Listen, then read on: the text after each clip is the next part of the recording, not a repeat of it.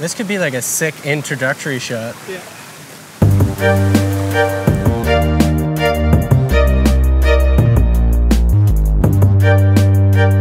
I'm Jonathan Hamilton. I'm the chef at La Carnita restaurant. We're a Mexican taqueria on College Street doing our take on Mexican street food. The atmosphere at La Carnita is really chilled, really laid back. We play the music loud, we have a good time, it's a fun place. It's not a pretentious feeling to it. It's really accessible to everybody.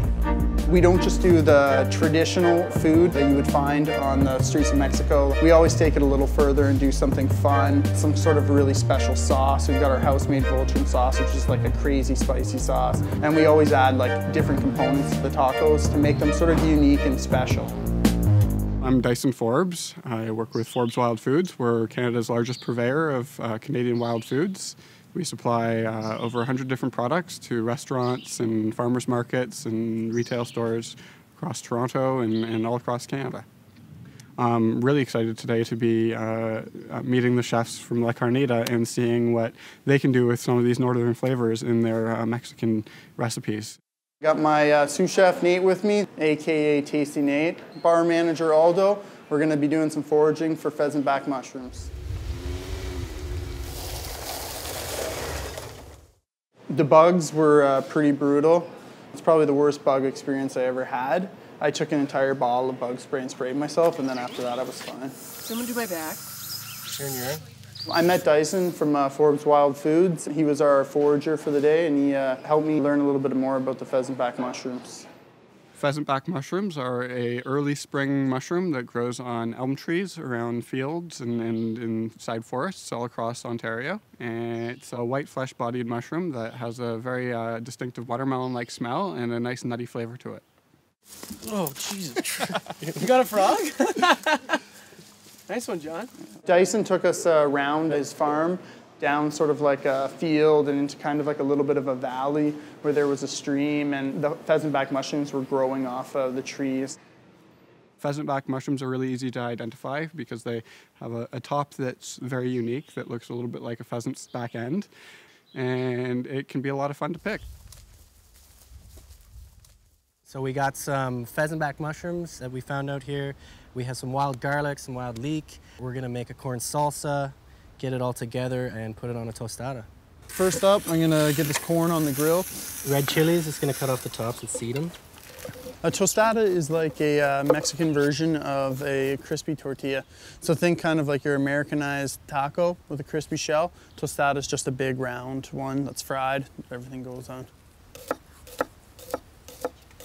How come you never do it this good at the restaurant? You don't pay me. No.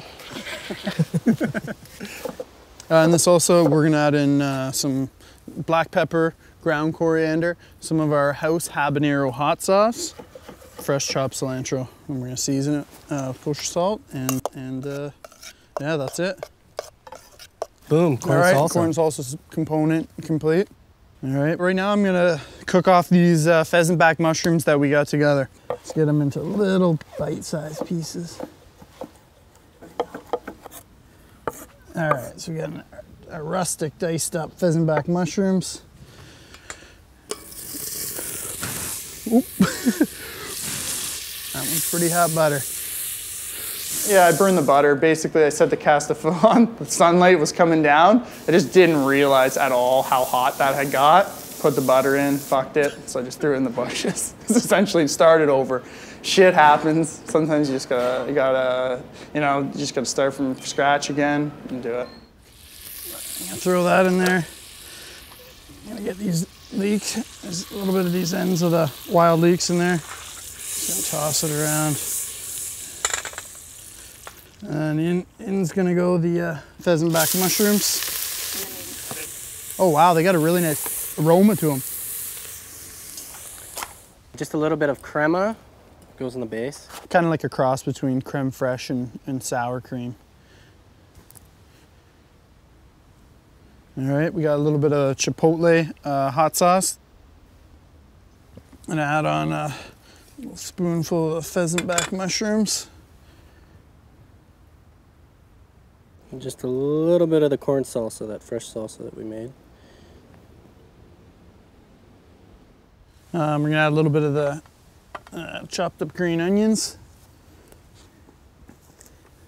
Uh, we're gonna shave on some um, uh, queso cotija cheese. If you can't find cotija, sometimes it's a little bit harder to find, you can substitute feta in there.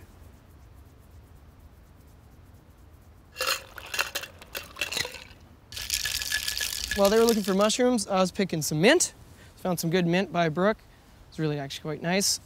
Smells really fresh. And we found some ginger as well that I've uh, chopped finely. And I'm gonna make a little ginger simple syrup because I'm gonna be making a tequila-based cocktail with the Tromba tequila here. A little bit of lemon juice, soda, and muddled mint. All right, so basically I just added the sugar to the boiling water. I'm just gonna add the ginger and then let this guy simmer. Okay, so now that we've got the ginger syrup boiling, uh, what I'm gonna do is make the cocktail. Pick some mint and muddle the mint. You don't have to like use all your brute force strength. You'll get the flavor without making it too bitter by just lightly uh, muddling. Time for the tequila. We'll just do one ounce for now, and if we really want to get wasted, we'll do two later. Now I'm gonna grab some of the syrup, hot, hot syrup. Actually got a pretty good aroma, even though there's not a whole lot of ginger. So I'm just gonna cut a little lemon in half. I think lemon in this case, because we're using ginger, will pair pretty nicely.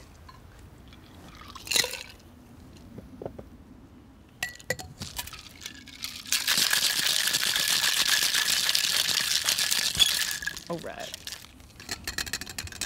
Since we use a couple components, I'm gonna double strain it just so we don't get any uh, unwanted things in our drinks. Do maybe a little splash of soda. And I'll garnish with a couple nice little mint sprig. And there we go. Pretty simple.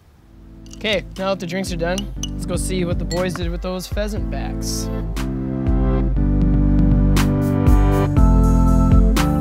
Tostadas.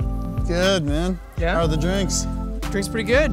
Mint's really good. Ginger's ginger's super bitter, and I bet you guys are probably need of one of these. Yeah. Yeah. Absolutely. That was a long day, and right when I had that when I got that cocktail, it was amazing. Right, so here's the drink with the tequila, the fresh ginger, and the mint that we forged, and I think John's got your tostada there. Yeah. All right, cheers, guys. Forbes Wild Food, Tasty Nate, La Carnita, Johnny. I really liked it. We were like out in the country, like way out in the woods. We had like a little wobbly table to cook on. What could be better than getting out of the city for the day, learning about pheasantback mushrooms, and cooking in the wilderness? One thing with foraging, you gotta bring bug spray. Yeah. Mm-hmm. That's the key to foraging. You're gonna have a good sleep tonight. That's for sure.